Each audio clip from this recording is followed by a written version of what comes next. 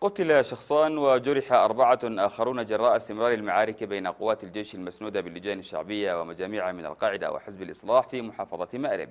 وذكرت مصادر محلية أن المواجهات طالت مناطق الجفينة والطلعة الحمراء وسائلة الأشراف وأن القتيلين والجرحى سقطوا في اشتباكات وقعت بمنطقة المثلث حيث مفرق الطريق الذي يربط منطقة الجفينة بسائلة.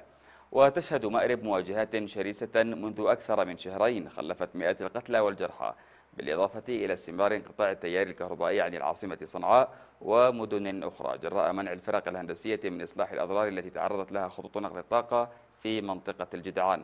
وكانت مصادر رسمية اتهمت عناصر القاعدة ومسلحي الإصلاح باستهداف الفرق الهندسية بالقذائف ومنعها من إصلاح خطوط الكهرباء.